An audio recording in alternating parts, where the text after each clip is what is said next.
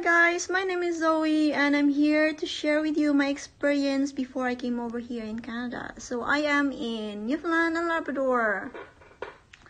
Um, my city is Mount Pearl now, but prior to that, uh, my employer was in St. John's.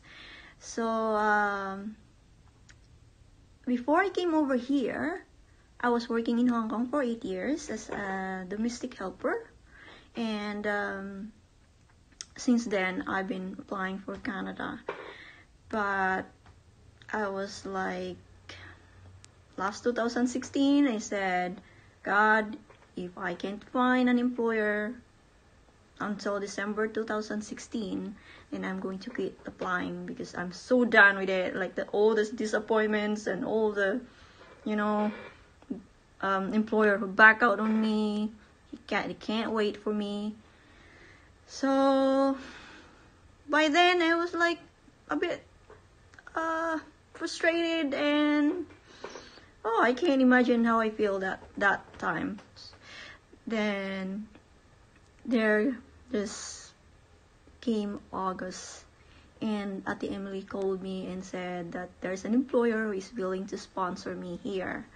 So I grab it and then after three months I am I'm having my visa. So what can I say is that um, if you guys are still waiting for your visa or if you still keep applying to come over here, then don't give up. Keep going uh, because I believe that if it's not time yet, then it's not time yet. no matter what you do.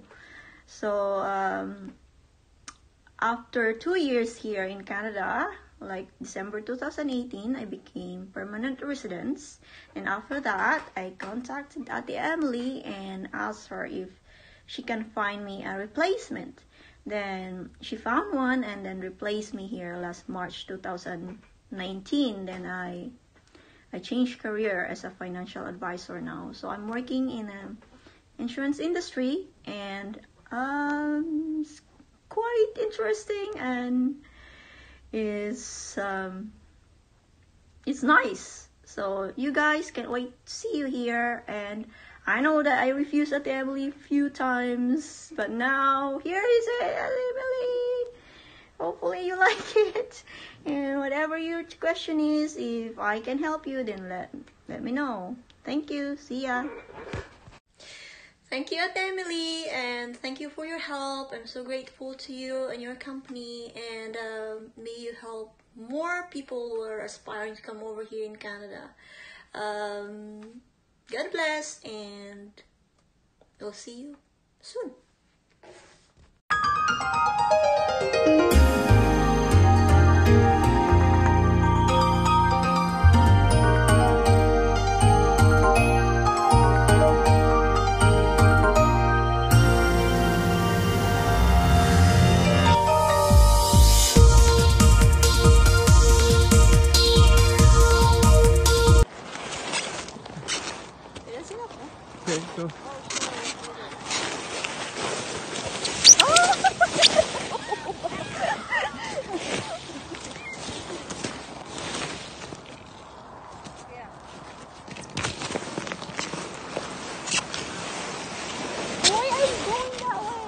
Okay.